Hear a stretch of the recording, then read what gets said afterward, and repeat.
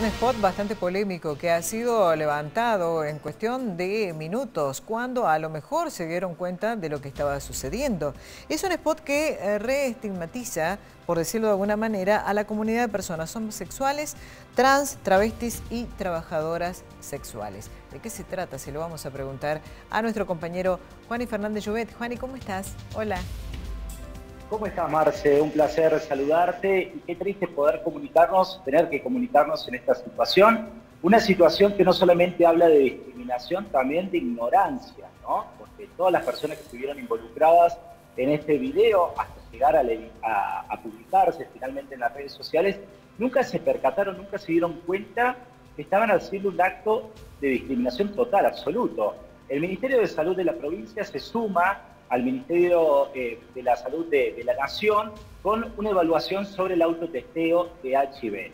Pero esto no debería discriminar absolutamente a nadie, ya que el HIV no discrimina en absoluto. Uno puede eh, eh, tener HIV siendo homosexual, siendo heterosexual, simplemente por no cuidarse, por no tomar las medidas correspondientes para evitar la transmisión. Pero sin lugar a dudas, vemos todavía por parte del Estado hay un desconocimiento y hay una ignorancia tremenda sobre este tema. Si querés, Marce, podemos ver el pedacito donde se explica, donde el doctor explica esta situación, donde invita a la comunidad LGBT y también a trabajadores y trabajadoras sexuales eh, para que se sumen a esta evaluación del auto, el autotesteo de HIV. Dale, lo vemos.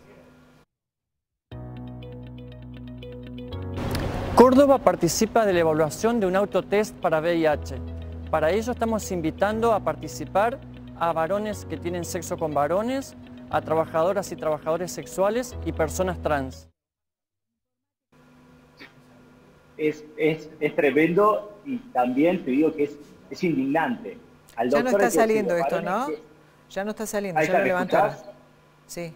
Sí, sí, ya, ya no está saliendo, obviamente varones que tienen relaciones con otros varones son homosexuales. No le tenga miedo, doctor, de decir como, tiene que decir las cosas. Pero digo, además esta convocatoria es bastante, lo decíamos recién, rozando o, invadiendo prácticamente cualquier eh, discriminación, eh, cualquier estigmatización, bien lo planteabas vos, Marce, y desde los SRT, nosotros desde la Universidad Nacional de Córdoba y del Canal 10, hace ya varios meses nos estamos comprometiendo con informes de inclusión donde explicamos ciertos temas que son importantísimos para la sociedad y para dejar de excluir a gran parte de la sociedad y para tomar conciencia sobre temas fundamentales. Uno de ellos es este, el HIV y cómo nos tenemos que comunicar, cómo tenemos que hablar del HIV y sin tanto miedo, sin, sin discriminación. Y es por esa razón que también recomendamos, Marce, al doctor y también al Ministerio de Salud de la provincia que vean este informe para informarse un poquito más sobre este tema y que tomen conciencia antes de hacer un video y publicarlo en las redes. Es fundamental. Es fundamental esto, esto nos parece fundamental. Eh, hay que entender también que eh, hay algunas generaciones que por ahí no manejan cierta terminología, ¿no? Eh, pero bueno, bien vale entonces asesorarse y guionar por ahí lo que se tiene que decir para que sea expresado correctamente, ¿no? Porque esa es la forma, y con muchísimo cuidado. Sí, uno se lo puede permitir a una abuela, a una madre, a un padre, que lo mejor no tenga. Pero cuando tenés un rol tan importante como es el de comunicar en una campaña que tiene que ver con el Ministerio de Salud, si sos gobierno, si sos Estado, estas cosas no, no pueden pasar. Porque si vamos a pedir inclusión, vamos a tratar de combatir la discriminación en la sociedad, tenemos que empezar por arriba también, ¿no? Bien. ¿Pedimos otro, vemos otra, otro de los videos? Sí, el tape. Dale. En este capítulo de Historia de Nosotros vamos a hablar de HIV-Sida, que es prácticamente lo mismo. ¡Corte! Ah, ¿no es lo mismo? VIH no es sinónimo de SIDA. Una persona con infección por VIH es aquella que adquirió el virus y no necesariamente presente síntomas. Es fundamental tomar las medidas correspondientes para evitar contagiarse de HIV. No, no, basta.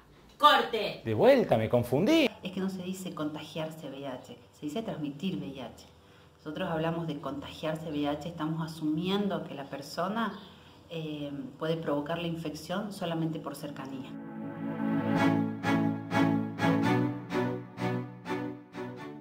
Buenos días, mi nombre es María Fernanda Molina, soy médica infectóloga y trabajo en la Fundación Rosas. En este capítulo te propongo hablar sin tabúes sobre el HIV-Sida, cómo se transmite, cuáles son las vías y por supuesto cuáles son los cuidados que hay que tener para evitar la transmisión.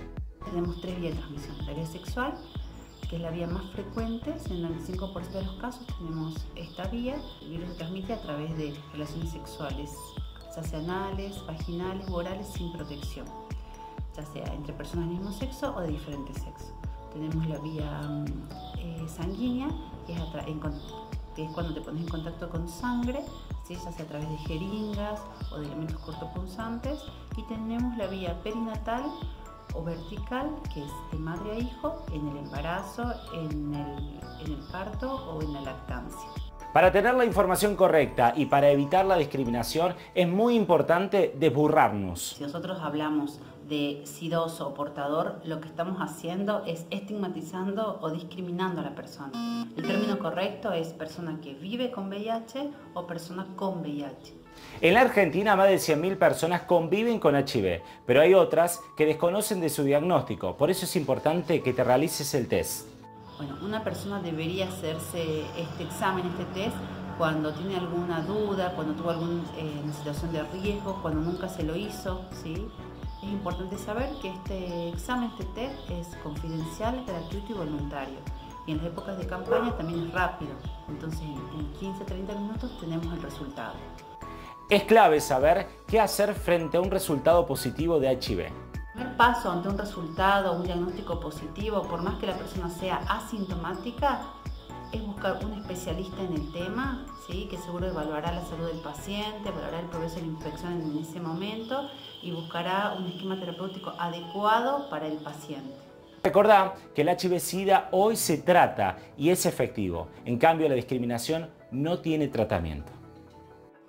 Actualmente nosotros contamos con un tratamiento crónico para VIH que lo que hace es evitar que el virus se multiplique. Se sabe que si una persona toma correctamente el tratamiento, lo que hace es mantener una carga viral indetectable. Cuando hablamos de carga viral indetectable, estamos diciendo que el virus no se detecta en sangre. ¿sí? Entonces, con una carga viral indetectable por más de seis meses, decimos que el virus no se transmite por vía sexual. ¿sí? Entonces tenemos el concepto de indetectable e igual a intransmisible.